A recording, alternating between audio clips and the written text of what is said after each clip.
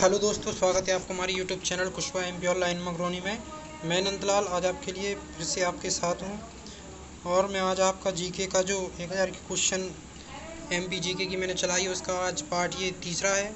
तो चलिए दोस्तों तो ये तीस सितंबर दो का क्वेश्चन पेपर है, जो सेकेंड शिफ्ट का है। ठीक है, इसको स्टार्ट करते हैं। दोस्तों, अगर आपने अभी तक हमारे चैनल को सब्सक्राइब नहीं किया तो प्लीज़ सब्सक्राइब कर लें। और बेल बेल आइकन को ज़रूर प्रेस कर लें, जिससे कि मैं जो भी वीडियो डालूँ, उसके पास नोटिफिकेशन आपको आ सके। चलिए स्टार्ट करते हैं। पहला क्वेश्चन देखिए आपकी स्क्रीन पर पहला क्वेश्चन है, केंद्रीय मानव संसाधन विकास मंत्रालय एच आर डी ने घोषणा की है कि भारत की दो सबसे लोकप्रिय प्रतियोगी परीक्षा, संयुक्त प्रवेश परीक्षा, जेई, यानी कि जेई जेई के बारे में बोल रहा है दोस्तों। ठीक है?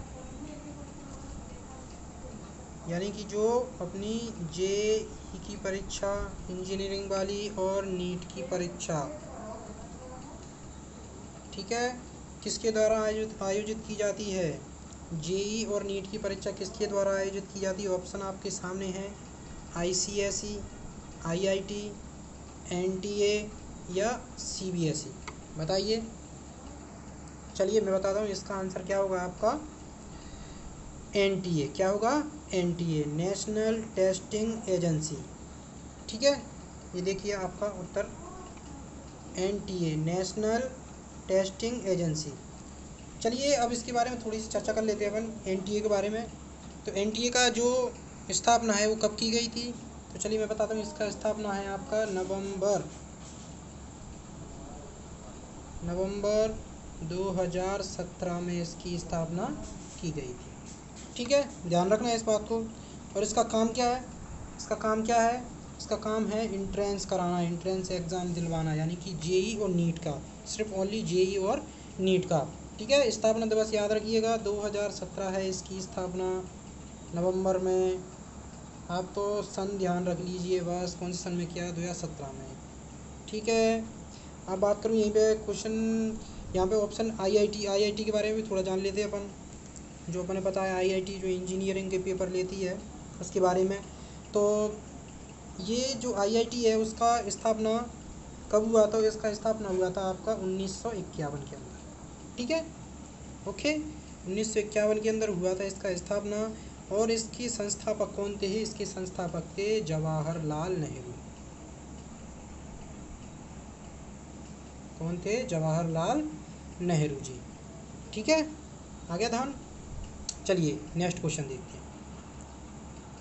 नेक्स्ट क्वेश्चन आपके सामने ये रहा तुमकुर तुमकुर ज़िले के सूखा प्रभावित पावागढ़ क्षेत्र में 200 2000 मेगावाट एम डब्ल्यू की कुल क्षमता वाले प्रथम चरण शक्ति स्थल और पार्क का उद्घाटन हुआ है, जो किस राज्य में स्थित है? यानी कि जो 2000 मेगावाट का शक्ति का जो पैनल है सोलर पार्क है, उसका उद्घाटन किस राज्य में सबसे पहले स्थगित किया गया था? चलिए, ऑप्शन आपके सामने है, उड़ीसा, आंध्र प्रदेश, कर्नाटक या तेलंगाना। बताइए। चलिए, उसका आंसर है कर्नाटका। ठीक है? ओके, और एक और बात मैं आपको बता दूँ, जो ट्री ट्री सोलर पैनल है सोनर पैनल। जो ट्री सोलर पैनल है, वो कहाँ पर स्थापित किया गया 2020 में? बताइए पश्चिम बंगाल के अंदर। ध्यान रखिएगा करंट अफेयर का क्वेश्चन है। ओके चलिए नेक्स्ट क्वेश्चन देखते हैं। ये रहा आपका नेक्स्ट क्वेश्चन निम्नलिखित में से कौन मध्य प्रदेश के तीसरे मुख्यमंत्री थे?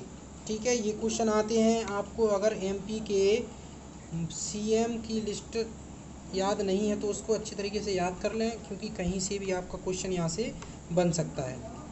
ठीक है? चलिए बताइए ऑप्शन आपके सामने है। तो चलिए मैं बता दूँगा आपका। सबसे पहले प्रधानमंत्री, जो मुख्यमंत्री थे आपके एमपी के कौन थे? पंडित रवि शुल्क सर, शुल्क, ठीक है? कौन थे? पंडित रवि शंकर शुक्ल जी प्रथम। और दूसरे कौन थे? भगवंत मंडलोई कौन थे? भगवंत राव मंडलोई ये कौन थे? दूसरे थे ठीक है? और तीसरे कौन थे आपके? तीसरे थे कैलाश नाथ काटजू। कौन थे तीसरे? कैलाश नाथ काटजू। ठीक है? और चौथे भी दोस्तों यही थे। अब पांचवे की बात करूँ तो पंडित द्वारका प्रसाद। ये कौन थे? कौन से थे? पांचवे। ठीक है? सिक्वेंस ध्यान रखिएगा। सबसे पहले कौन थे अपने? रविशंकर शुक्ल। ठीक है? दूसरे कौन थे? भगवंत राव मंडेला। तीसरे थे कैलाश नाथ काटजू। और चौथे भी यही थे। और पांचवे कौन है? पंडित द्वारका प्रसाद मिश्रा। ठीक है? याद रहेगा? चलिए इसका आंसर भी बता दिया मैंने आपको। कैलाश नाथ काटजू। ठीक है? नेक्स्ट क्वेश्चन देखते हैं। नेक्स्ट क्वेश्चन है, घूमर किस रा, भारतीय राज्य का पारस्परिक सामाजिक लोक नृत्य है? घूमर के बारे में पूछ रहा है। अरे आपने सुना होगा घूमर के बारे में। कहाँ पर है ये? राजस्थान में। कहाँ पर है? राजस्थान का लोक नृत्य है। ठीक है? कहाँ का लोक नृत्य है? राजस्थान का। ओके? चलिए गुजरात का भी बता दीजिए। गुजरात का क्या है? बताइए। याद हुआ आपको तो गरबा। क्या है गुजरात का? गरबा। असम का कौन सा है? बिहू। क्या है? बिहू। पंजाब का क्या है? भांगड़ा पंजाब का और मुझे सही से पता ध्यान नहीं है उसके बारे में, क्योंकि बहुत सारे लोग नृत्य पंजाब के तो आप यहाँ पे देख लीजिए गूगल करके, ठीक है? ओके चलिए नेक्स्ट क्वेश्चन देखते हैं। नेक्स्ट क्वेश्चन है, निम्नलिखित में से किस संस्थान द्वारा जागो ग्राहक जागो? जागरूकता अभियान लाख चलाया गया था। चलिए, बताइए ऑप्शन आपके सामने है। फ़र्स्ट आपका सी बी सेकेंड है आपका N A F E D और चौथा है आपका वायदा बाज़ार आयोग, तीसरा खाद और कृषि संगठन। चलिए, बताइए, कौन सा होगा इसका आंसर किसके द्वारा? जागो ग्राहक जागो। आपने प्रचार तो बहुत देखेंगे, ऐड बहुत देखेंगे आपने टीवी पे इसके। तो अब ज़रा इसका ये भी बता दीजिए कि इसको किसके द्वारा चलाया गया था। चलिए मैं बताता हूँ इसका आंसर होगा, क्या होगा? एफएमसी, यानी फॉरवर्ड मार्केट कमीशन, वायदा बाज़ार आयोग। ठीक है? अब थोड़ा इसके बारे में जान लेते हैं, थोड़ी सी बातें जो फैक्ट हैं। इसका जो संस्था अपना है स्थापना है, कब हुई थी? उन्नीस सौ तिरपन में। कब हुई थी? उन्नीस सौ तिरपन में। मुख्यालय कहाँ है इसका? मुख्यालय कहाँ है? मुंबई के अंदर। कहाँ है? मुंबई के अंदर। ठीक है, दो बातें ध्यान रखना है। इसका जो वायदा, बाज़ार मार्केट है, आयोग है, उसका संस्थापना कब की गई थी? उन्नीस सौ तिरपन में। और मुख्यालय कहाँ है? मुंबई में। ओके, ध्यान रखिएगा। किसका? जागो ग्राहक जागो का। किसके अंतर्गत आया वायदा बाज़ार नेक्स्ट देखते हैं नेक्स्ट क्वेश्चन है आपका। प्रथम भारतीय सामान्य चुनाव को डेडस में आयोजित किया गया था। कब आयोजित किया गया था? सबको पता है, आज़ादी मिलने के बाद दो तीन वर्ष के बाद, यानी उन्नीस सौ इक्यावन से उन्नीस बावन के बीच में। ध्यान रखिएगा। नेक्स्ट क्वेश्चन देखते हैं। नेक्स्ट क्वेश्चन है, मध्य प्रदेश में रिसोज शहर, जो भूकंपीय क्षेत्र वर्गीकरण के डेड डैश के अंतर्गत आता है। किसके अंतर्गत आता है? चलिए मैं बताता हूँ कौन सा क्षेत्र है आपका? क्षेत्र सेकंड यानी दूसरा जोन नेक्स्ट क्वेश्चन है आपका। जैन साधु तरुण सागर का जन्म मध्य प्रदेश के डैश ज़िले में हुआ था। कहाँ पे हुआ था बताइए। चलिए मैं बताऊँ इसका आंसर होगा दमोह। क्या होगा? दमोह के अंदर। नेक्स्ट क्वेश्चन देखते हैं। भारत में निजीकरण किया गया पहला रेलवे स्टेशन कहाँ स्टेशन कहाँ स्थापित किया गया था? यहाँ स्थित है। कौन सी जगह? इटारसी, गणेशगंज, हबीबगंज खुजराव कहाँ पर बताओ। चलिए बताता हूँ इसका आंसर क्या होगा आपका। हबीबगंज। कौन सा? हबीबगंज। और ये कब किया गया था? उन्नीस सौ उन्यासी के अंदर। हबीबगंज को क्या किया गया था? निजीकरण किया गया था। नेक्स्ट क्वेश्चन देखते हैं। चलिए। नेक्स्ट क्वेश्चन है आपका। मध्य प्रदेश में जापानी औद्योगिक टाउनशिप डेडेस में स्थापित की गई थी। कहाँ पर की गई थी बताइए। चलिए मैं बताता हूँ, इसका आंसर होगा पीतम। कहाँ होगा? पीतम। नेक्स्ट क्वेश्चन देखते हैं। कितनी राष्ट्रीय वार्षिक योजनाएँ अब तक प्रस्तावित की गई हैं? वार्षिक योजनाएँ बताना है। चलिए बताइए, इसका आंसर क्या हो गया? छः। कितना? छः। चलिए नेक्स्ट क्वेश्चन है। मध्य प्रदेश के किस ज़िले में नौरा देही अभ्यारण्य स्थित है? नौरा देही अभ्यारण्य स्थित सभी को पता है। सागर में है। कहाँ पर है? सागर में है। चलिए नेक्स्ट क्वेश्चन देखते हैं। जनवरी 2018 में फ्रेंड्स ऑफ़ एम्पटी समिट कहाँ आयोजित किया गया था? बताइए, फ्रेंड्स ऑफ़ एमपी समिट जो 2018 करंट का क्वेश्चन है। तो चलिए मैं बताता हूँ इसका आंसर क्या होगा आपका? इंदौर। क्या होगा? इंदौर नेक्स्ट क्वेश्चन देखते हैं।